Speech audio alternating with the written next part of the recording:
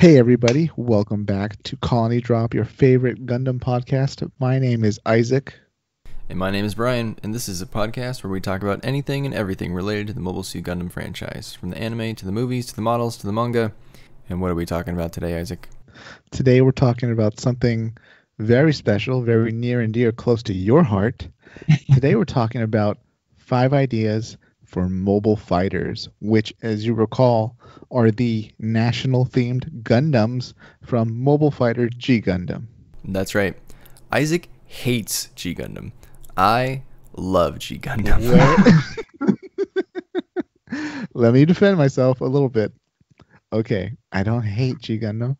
It's just not my favorite. All right, I'm a bit more into Gundam when it's about like you know, feuding factions and you know actual battles and stuff like this. This is very much a Gundam that doesn't really take itself seriously. So it's yeah, it's Street Fighter Gundam. That's right. And for those of you who haven't seen G Gundam, uh, it's a show from the mid 90s. I think it's 1994, if I remember right. Uh, and the basic idea is that the world government is controlled by sort of one country, which gets determined every four years or so, uh, based on a tournament called the Gundam Fight.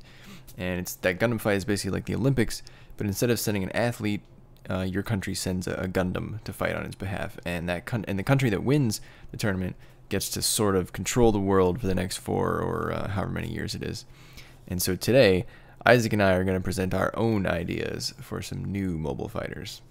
That's right. Let me let me just remind our viewers that the reason in Mobile Fighter G Gundam they have this whole tournament anyways is because they originally had a, a world war of such devastating scope that the world was essentially ruined afterwards. So they each country sent their own colonies into space. You know, Neo America it was the colony for America. You know, Neo Neo Japan is a colony for Japan, etc. And this is how they solve their differences. So I guess in a way, this is how they're having their wars. It's just a much more um, scaled down version that will avoid a world war itself. Brian, did you, did you come up with five, or did you come up with any more than five, less than five? Uh, I have one honorable mention. Um, there were ones I wanted to come up with something for, but I, I just couldn't. Um, so I, like I wanted to come up with something for Australia. So I was like, maybe it's something to do with like a kangaroo. Uh, but it turns out there's already a mobile fighter from Neo Australia called Jumping Gundam uh, from one of the G Gundam mangas. I think it might be one of the prequel mangas. Uh, it's basically a kangaroo with boxing gloves, kind of exactly what you'd imagine. So that so that was already taken. It's kind of like the first stereotype or, or, trope, I guess you would go to um, for Australia. So, uh, you know, what was uh, what was one of your honorable mentions? I actually have three. I'd like to talk about them at the end, if that's okay. Yeah, sure. okay. And I didn't think of my Gundams in a particular order. Like there's five, and there was just as the ideas came to me. Did you put yours in like boring to awesome, your usual scale? Uh, I didn't think of them in any particular order. I, I, don't know. I like to have a standard, I guess, for my ideas, and I had four uh, that I thought were pretty good, and I guess one that I sort of thought of at the last minute. So I'll probably start with that one. Um, but the other four, I'm not really sure which ones are the best, but I'll try to, I guess, put them in, in order from boring to to awesome to be uh, consistent with previous podcasts. All right, Brian. In that case, let's start off with yourself. What is your first submitted mobile fighter concept? Okay, so this is to answer the question we asked before, which is what would the Vatican send out as a mobile fighter?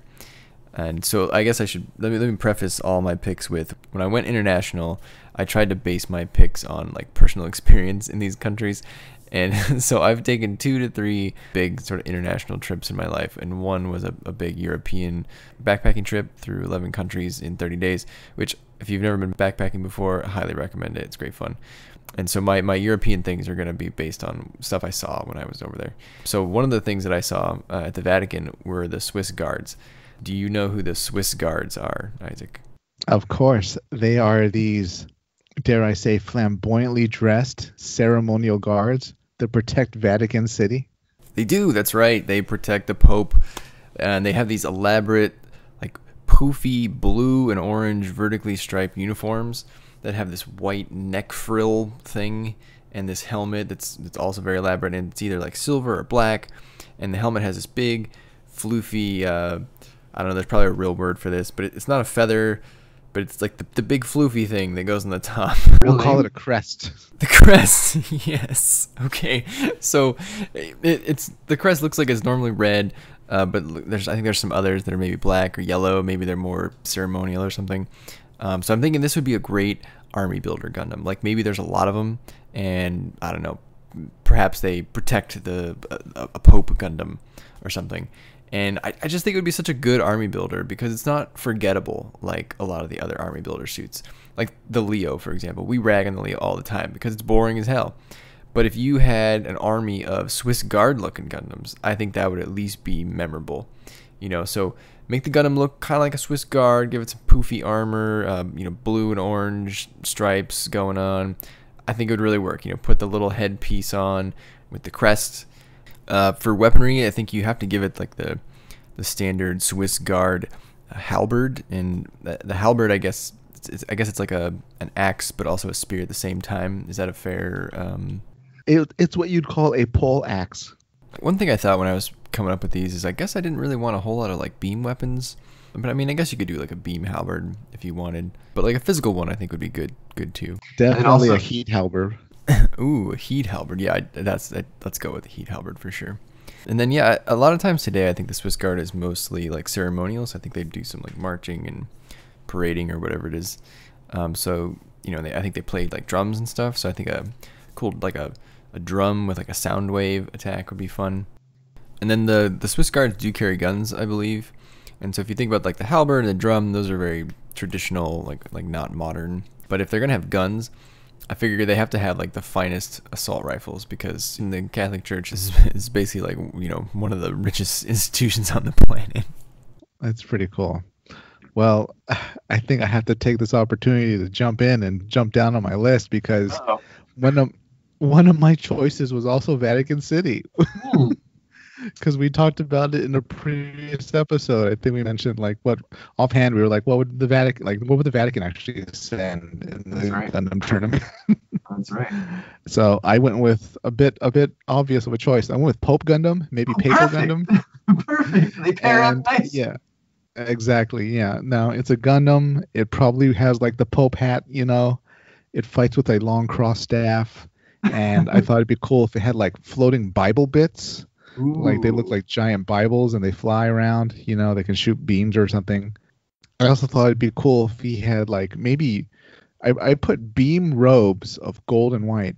You know, the kind of very flowy. You know, because you can't really do that with armor, but with like beams, you're, you can be a bit more flowy. You know, like Master Asia style kind of stuff. Yeah, I'm I'm picturing the Crossbone Vanguard uh, beam flags. Yeah, pretty much exactly.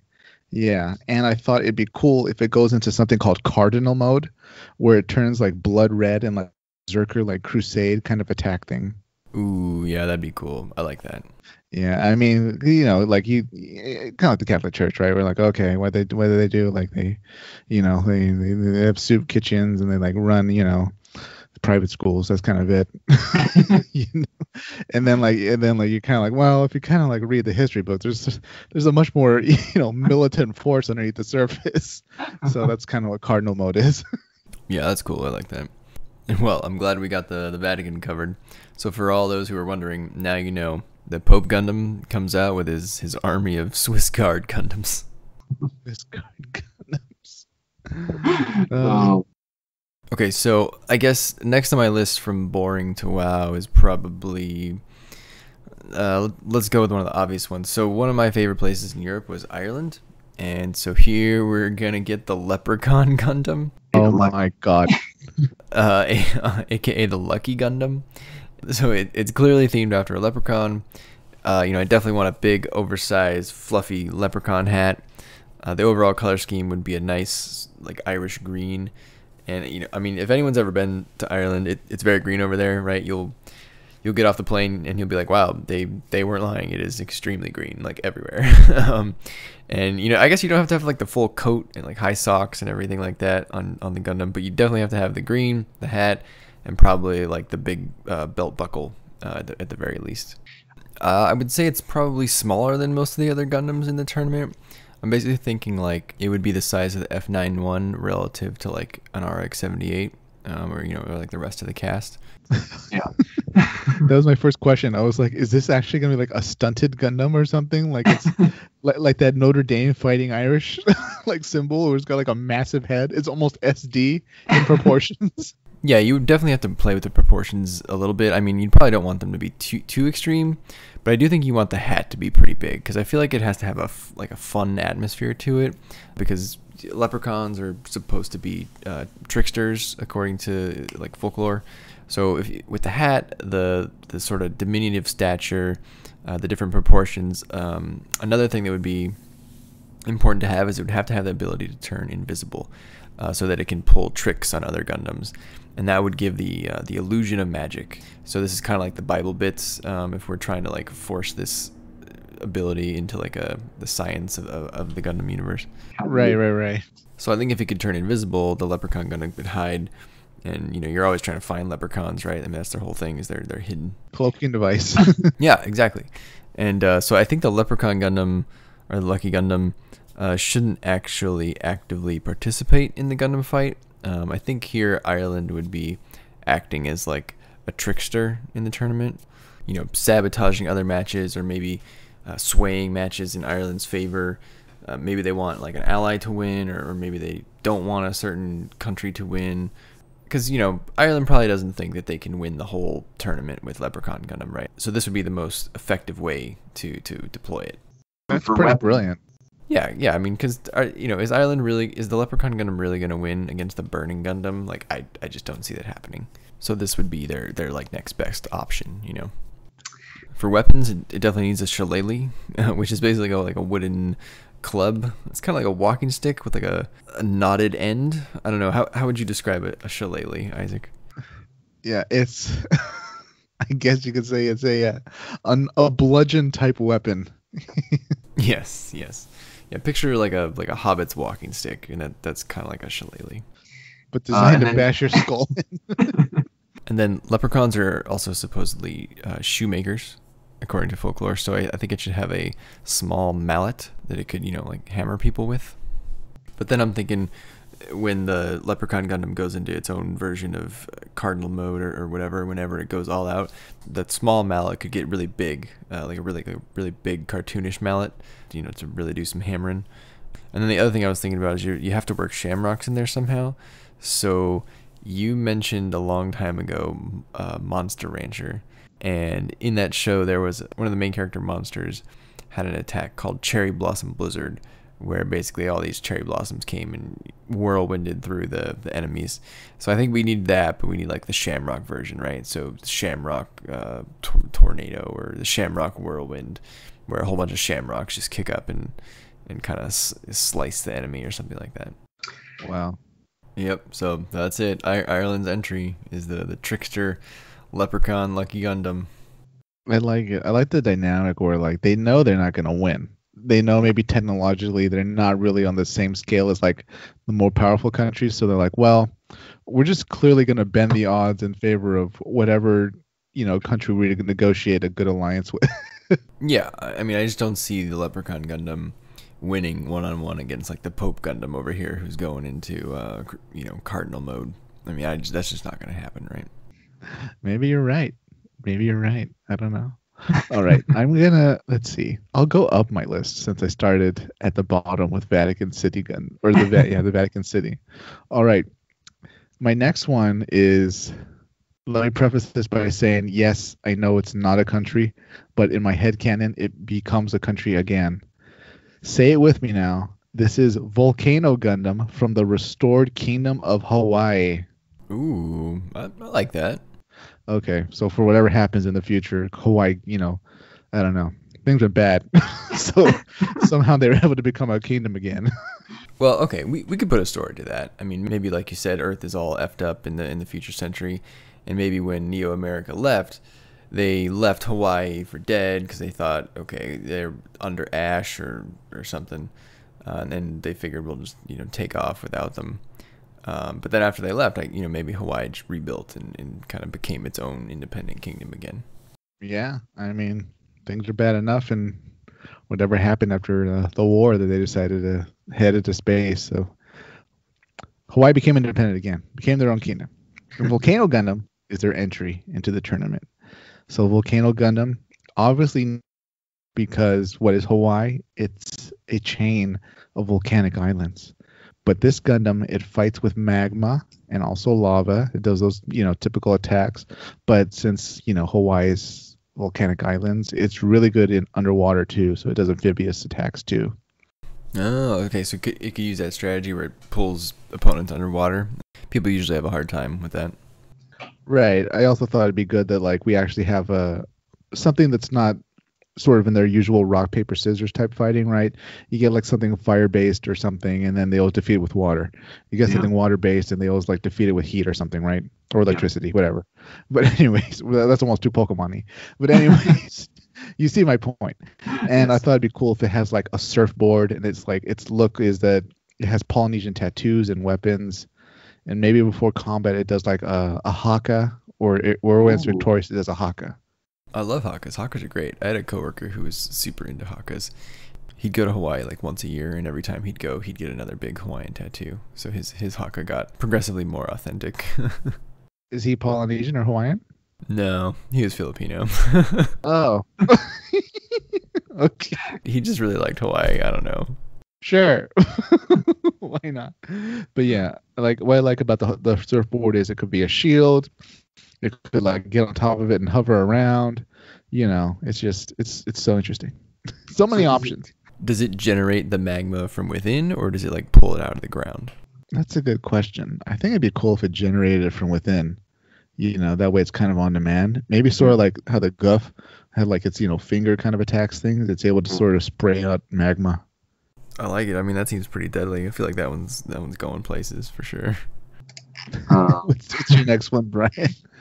So I cheated a little bit. I actually have two different ones for the United States. Oh, So- you redid the United States? I redid What? the United States. Yes. You had issues with Maxter? yeah, so we'll do one of them now. Yeah, I was never impressed with with Gundam Maxter. I just don't get it. For whatever reason, there was a big focus on boxing. And football. Yeah, football, I guess I could see, and it had like the boxing mode. I don't know. I don't get it. One of the prequel mangas has another one. Uh, I think it's called Freedom Gundam or Gundam Freedom, maybe. And it, ha- that one has more of like a cop aesthetic, which actually, uh, given everything in the news lately, may be fairly appropriate for the United States. But, but that one, I'm still not really super impressed with that one. It's got some like brass knuckles with some spikes on it, and again, it has a boxing mode. Again with the boxing, I don't get it. So I'm redoing the USA twice. wow. The first is in a heroic manner. So if you were doing a story where the US Gundam was the protagonist, this would be my Gundam.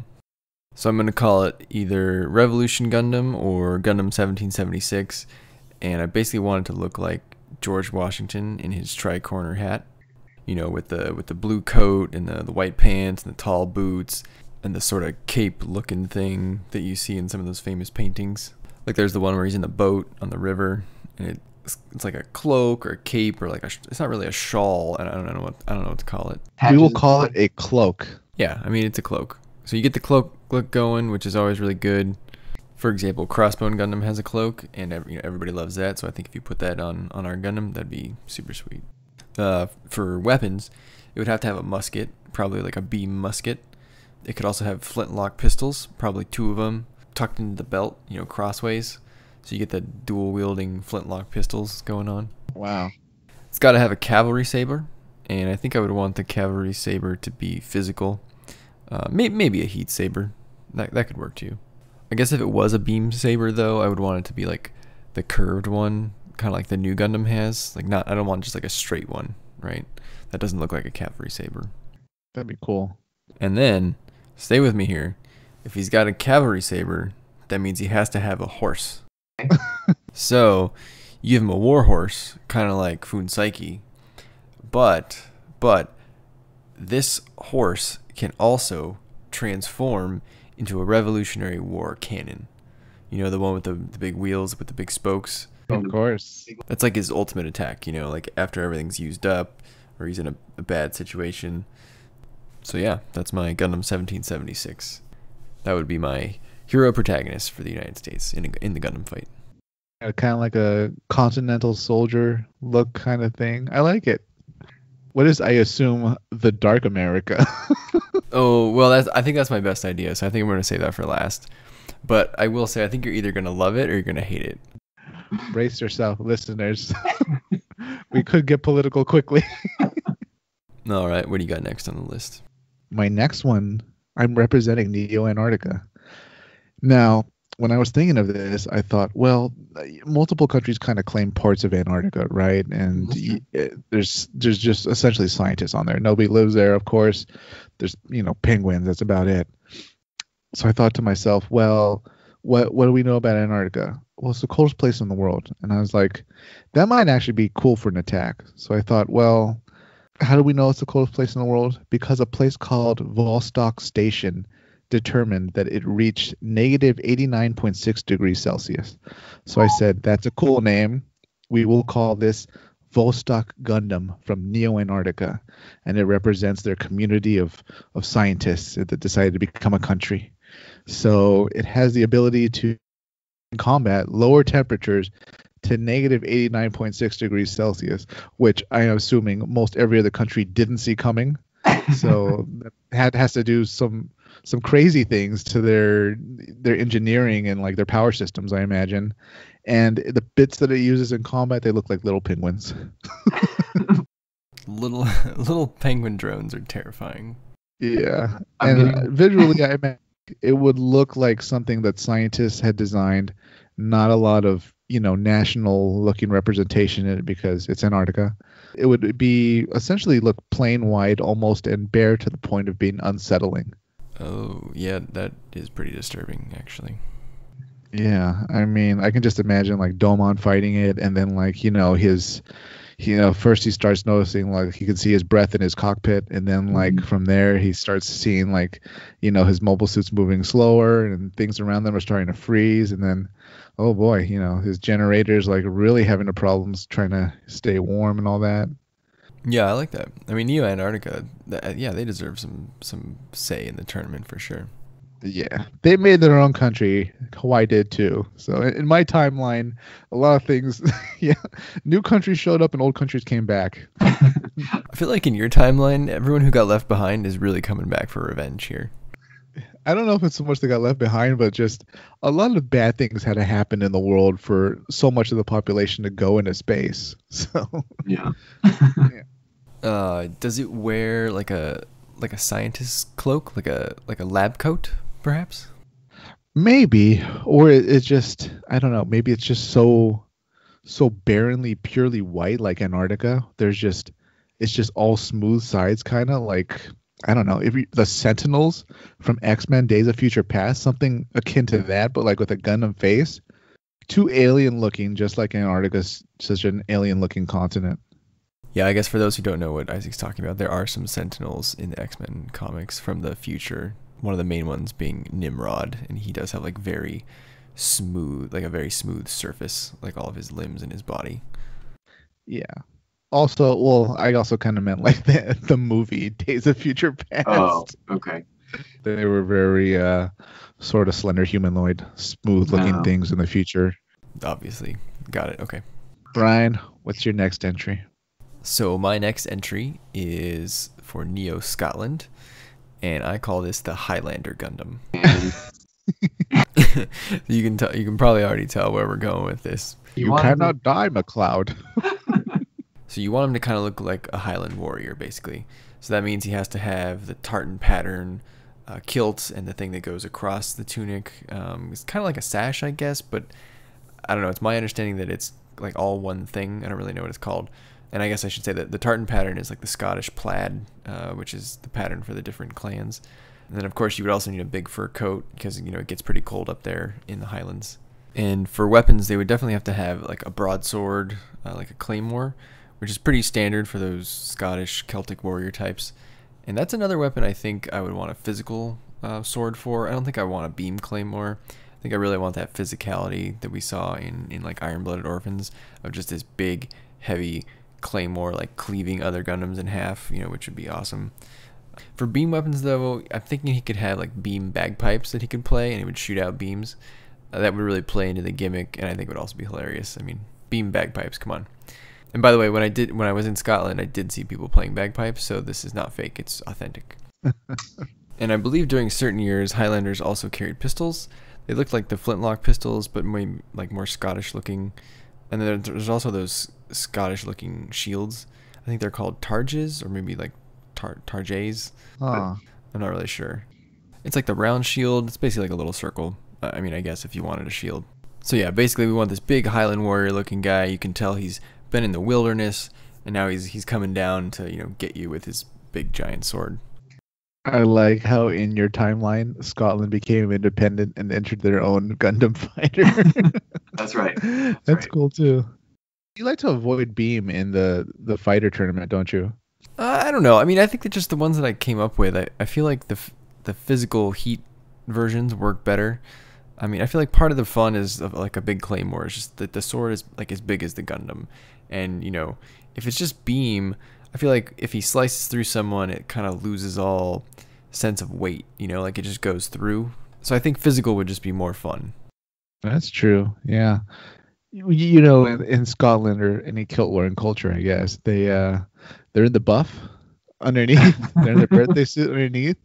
So like, I don't know.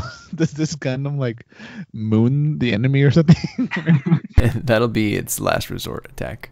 So I did actually think about that, and then I started to think like, what what would that look like on a Gundam? Like, would it just be like an unpainted gray, you know, under there, um, or would would you paint it like a flesh color, and and it would would that look really weird? Uh, you know, I don't know. Maybe they'll put like a cannon back there. There's a beam cannon back there that like it only gets armed when the kilt gets lifted. Does this Gundam have like a love hate relationship with whatever Gundam like England sends out? Yeah, yeah. I, like I agree. sometimes they're allied, sometimes they really don't get along. Well, my understanding is that the Highlanders and the Lowlanders did not necessarily see eye to eye per se. I think the Lowlanders always felt the Highlanders were maybe a little less refined. I mean, the the Lowlanders, I think they wore pants, you know, so I think they may have uh, held that against the Highlanders. I think England would skew more towards being like the Lowlanders, so I'm sure Neo Scotland with its Highlander Gundam would maybe have some friction with Neo England for sure. Neo England always offering funds to support the development of Lowlander Gundam. Uh, Yeah. All right. My entry now is from a country that has an interesting history because I don't think any other country has ever acted like this country does in recent memory. This is a very special Gundam. This is Neutral Gundam from Ooh. Neo Switzerland. I like that. I tried to do something with Switzerland actually, and I couldn't figure out what to do. So I'm actually pretty excited to hear what you're about to say. Okay, just like Switzerland is known for its policy of essentially endless neutrality, no matter how much the Nazis have taken over Europe or anything else, or whatever's going on between communism and the United States. Neutral Gundam from Neo Switzerland has the power to neutralize any attack, and it has a reputation for forging every battle to essentially end in a draw or no contest. Ooh, I like so, yeah, beam attacks neutralized against it by whatever Swiss armor they're using. Uh, physical attacks either dodged or you know blocked by whatever you know abilities the the pilot's been trained to use. So countries, and I assume the protagonist in whatever year we're making this tournament, um, has to essentially resort to using the environment to defeat the Gundam because that. your Gundam to this Gundam are almost always neutralized. Like maybe we could put like there was there was a certain situation maybe where a country did manage to actually damage it directly, but it's it's exceptionally rare to the point where the mobile fighter teams they essentially tell their pilots, look, you're probably not going to be able to attack it. You need to really look at the environment and try to use that to your advantage to hurt this Gundam. From a physical weapon perspective, I guess the armor is just really good, really dense, uh, basically impenetrable. From a beam perspective, is this Gundam neutralizing it with some sort of EMP type weapon or I would say there could be something technological to it. Like maybe we could say there's a equivalent of an I-field or something that gets broadcast or something special that a beam attack would not work. Yeah. But of course, that doesn't that doesn't mean like I don't know. Maybe you're fighting in like a, an underground subterranean area. That doesn't mean you can't use your beam sword. You know, in the Yeah. uh, you know, uh, on the stalagmites or whatever above you, and then they fall. Got it, got it. It reminds me of the N jammers from Seed. well, those were those only stop nukes, right? I mean, Yeah, didn't they pre- prevent the reactors coming online or something? Yeah, they they had like power problems on Earth because of the N Yeah. jammers. I like that. That's good. What does this look like? That's a good question. I thought it'd be very Swiss looking. So what, by that I mean like it it wouldn't look like a Swiss Army knife, but I pr- imagine a lot of red and white. But I wouldn't want it to look visually intimidating if that makes sense. So it it would have to have so much so much of a somewhat of a neutral looking ap- appearance, but it's you know in combat it actually gives you a run for your money. It won't necessarily attack you, but it might make it your Gundam reach the point where you've exhausted your ammunition, your weapons are useless, your fighter's probably exhausted, and you might ask the committee for a no contest or a draw. Yeah, I was gonna say, does it does it have any weapons? I wouldn't say they're offensive weapons if it has any. Like maybe it would have some type of a baton or a pole or something Yeah. necessarily for striking the enemy, more for like redirecting where your incoming attack's going. Like a net and handcuffs. I think a net might be too immobilizing. Yeah, what would what would a neutral person use? And it might be more like interesting that it only uses its hands. You know, just like um, Shining Gundam was able to use its hands to literally attack you and hit you with a bunch of energy. Maybe Neutral Gundam uses its hands to, you know, neutralize whatever you're doing. Wow, maybe it can even grab the beam and then the beam shuts off. Ooh, this is very like unicorn-ish. Yeah. yeah, but I I figured Neo Switzerland, you know, would continue its tradition of neutrality in the future, but it would do it in a, a very um, Gundam way. I like it. Okay, you ready for my United States antagonist? Oh wow. Hit me with it. I'm sorry. Okay, so this is what I thought my best idea was, but you can tell me if you if you love it or hate it. So this is called Capital Gundam, or Greed Gundam. Oh boy. it is a transformable mobile suit with three forms. Don't ask me how the transformation works. But the default mode is a humanoid mobile suit with a big upper body in sort of a black suit, white shirt, black tie color scheme. Uh, and because of the transformation, this is going to require some bulk. So I'm thinking something like the Gundam version of Kingpin from Marvel in terms of size, shape. Uh, you know, Kingpin, like, he's pretty thick, right? Fat cat. Yeah, you want like that the broad shoulders, I think is what I'm saying. Not necessarily fat, like in the gut region, but like a you know, he needs a wide base, I'll say. And imposing. Imposing, yeah. Yes. And I imagine because of the size, it probably stands higher, like sits wider than other mobile suits in the tournament. And it probably needs an energy stealing ability because this is all about capitalism, right? So you're stealing other people's energy and using it against them. Uh, it doesn't have a gun or anything like that. So the two modes are the bull mode and the bear mode uh, for bull and bear markets. The bull is the the offensive mode. So just picture like the bull statue from Wall Street, and this is this mode is where it would do most of its damage. It can like charge really fast, uh, but it is a bit wild. But then the bear mode, on the other hand, that's the defensive mode. So it's just as strong as the bull mode, but in, in the bear mode, it kind of like tanks all the hits, and, you know, and fights back when necessary. So it would be very hard to defeat in the in the bear mode. So there it is, Greed Gundam, based on Wall Street. You know those those bankers. Everybody hates them recently. They're my antagonists in my story because you've got the the hero, the revolutionary idealist, against you know capitalism gone awry. Does it like when it's draining energy from like an enemy Gundam back at like the the enemy colony?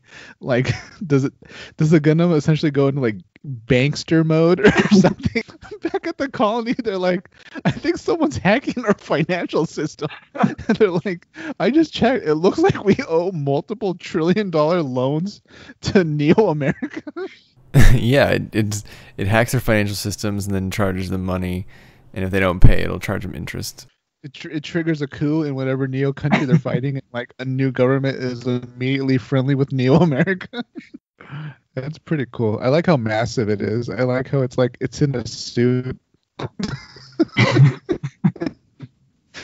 maybe it, we're clearly forming like a side story at this point. Um, maybe, maybe there was like a civil war in Neo America. Like they were fighting. You know what? What exactly would we like our our Gundam to be or something? Or Oh, there you go. well, maybe not civil war to the extent that two Gundams fighting is a civil war, but um, yeah, maybe they're like, all right, well, we'll make both, and then whoever wins, that's the ideology we're going with for the next four years. Yeah, totally. so kind of an election, but with fighting. What's interesting is that uh, it, it was quite the sinister idea coming from you, Brian. Goodness. Yeah, this is my Isaac version of Neo America. This was actually the second one I thought of, I think, after the Scottish one. I was thinking to myself, yeah, he's going to either have thought of this himself or he's going to be proud of me. I like it a lot, though, and I, I look forward to it in the side story. All right, my next choice, my final one, it's very much in the vein of Tequila Gundam. So it doesn't take itself too seriously. And let me just say, I didn't mean any disrespect when I thought of this, okay? Because they are world famous for these. They're, they're- not even world famous. They're the best in the world for these. All right, are you ready for this, Brian? I'm ready. Say it with me now, everybody. Cigar Gundam from Neo Cuba. So, as we all know, Cuba is a uh, it's a it's a it's a friendly neighbor to the south of America. It's in the, the middle of the Caribbean. not ex- not exactly have a, a long history as being some type of global empire or anything like that. So it wisely deploys a cigar smokescreen to confuse its enemies and hide, and it uses guerrilla style tactics like the little communists did. And when enemy uh, Gundams are scanning it, it starts giving off readings that it has nukes. Oh my God, it's it's, it's priming its nuclear weapons. They're being fueled, but in reality, the the nuclear weapons it has, they can't really be used in any meaningful way.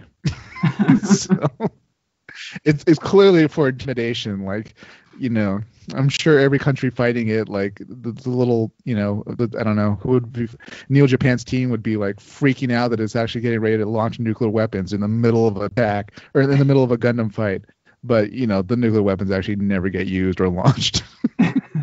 so with this Gundam, is Neo Cuba just trying to hold on to its power and not necessarily get more or less? I take it. I think Neo Cuba is doing a really good job. it's, on the list of Gundams that you'd underestimate in combat. so what does this look like? Does it look like Fidel or does it look like Che or, or like a mix? I'd say it would it would have a a mix of sort of tropical colors, but also maybe some of that a little bit of the uh, that military green, also some of the uh, the national colors, which is like blue, red, and white, and it would definitely have a cigar in its mouth. Maybe some guards also that could, could like throw or something like that to set up the smoke screen, but there's always one in its mouth. I like that. Does this have any like heat weapons? Like for example, the the cigar, you know, burns hot at the end. Can it can it damage foes with the cigars in any way? Probably. It could probably flick and like do some type of ash attack that like Oh, blinds I you or something. yeah, I think it'd be cool if, you know, came with Neo Cuba kind of being um pretty crafty. It t- it can take the cigar out of its mouth and it turns into a beam saber. Oh, nice. I like it.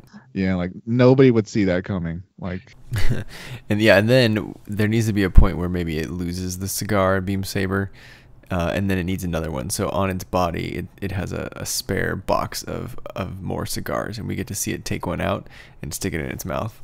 and the Gundam sized lighter. Brian, did you have any honorable mentions that you didn't actually mention?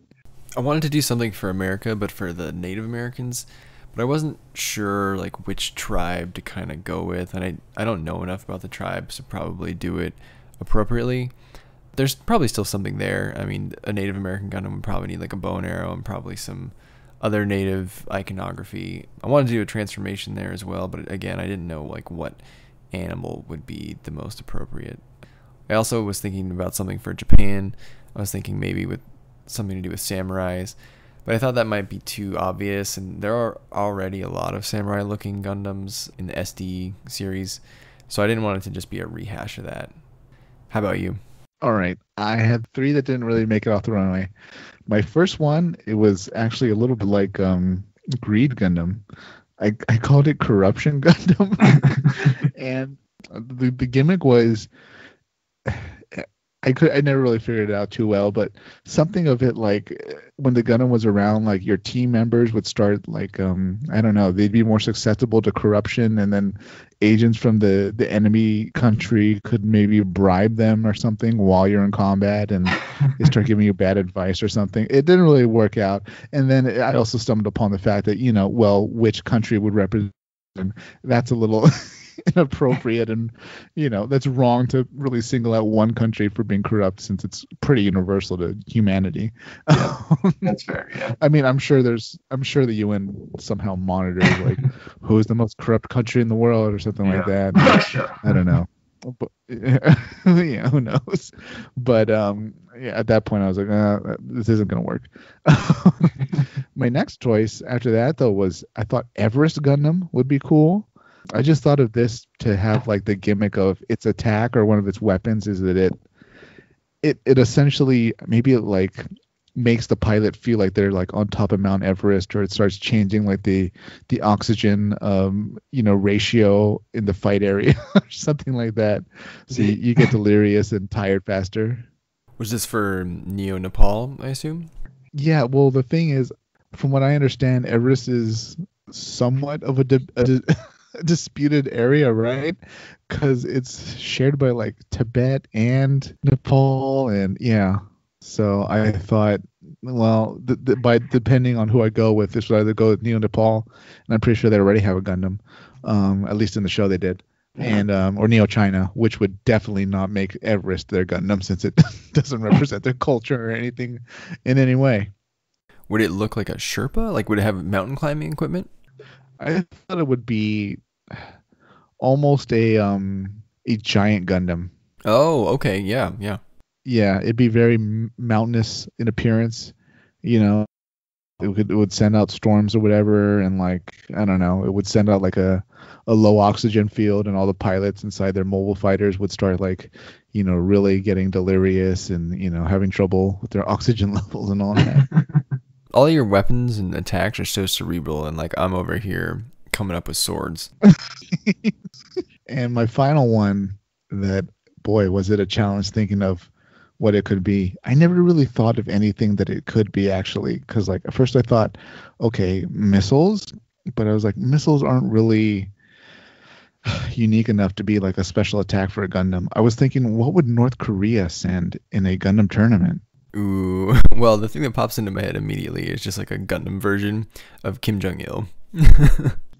Yeah, I was like, would they call it like Dear Leader Gundam or something like that? I don't know, or like Dear Gundam. I don't know, or Dear Great Warrior Gundam, Korean Workers Party Gundam. I don't know. And then I was like, oh, Juche Gundam, like because that's like their political philosophy, like self reliance mm-hmm. or something. And I was like, this still, this isn't really working because I'm like, I, I, don't I think only a North Korean would be able to determine what a North Korean Gundam would, would actually look like and you know make it unique. You know, for all I know, they'll call it I don't know some kind of flower Gundam, whatever flower grows there or something like that, because it's important to their culture. But I, I really couldn't think of anything. I thought it was just it's such a mystery. Like, what would North Korea send? Comment below. what would North Korea? What would Neo North Korea send in a mobile fighter tournament? There's no right answer and there's no wrong answer, I guess. If you're somehow listening to this from North Korea, we would really love to know what you think your mobile fighter should look like. Yeah. I thought nuclear weapons too, and then I was like, well, by that logic, like Neo Russia and Neo America should have nothing but nuclear gun. Plus, if if Neo North Korea used a nuke, I'm sure all the other countries of the world would not take too kindly to that, and they might all gang up on Neo North Korea, and it could end very poorly for them. Maybe that happens in our side story. Maybe that explains exactly why there's no Neo North Korea. oh, Well, everybody, I hope you enjoyed our mobile fighter ideas. I don't know about you, Isaac, but I'm really interested to hear what the listeners come up with for their own mobile fighter ideas, whether it's for their country or other countries, doesn't matter. So please leave us a comment on YouTube or on Twitter at Colony Dropcast. What would your mobile fighter be? What's it themed after? What does it look like? You know, weapons, attacks, uh, you know, give us the whole rundown. Don't forget, it doesn't necessarily have to be a country, right? Maybe you'll make up a country. I don't know. Maybe California seceded in your timeline and became Neo California or something. they send out Surf Gundam. I don't know. Yeah, anything can happen in the timeline. I mean, Isaac made Neo Hawaii a country, right? So send it in. Let us know. Don't forget to like, comment, and subscribe. We'll see you next week. Take care, everybody.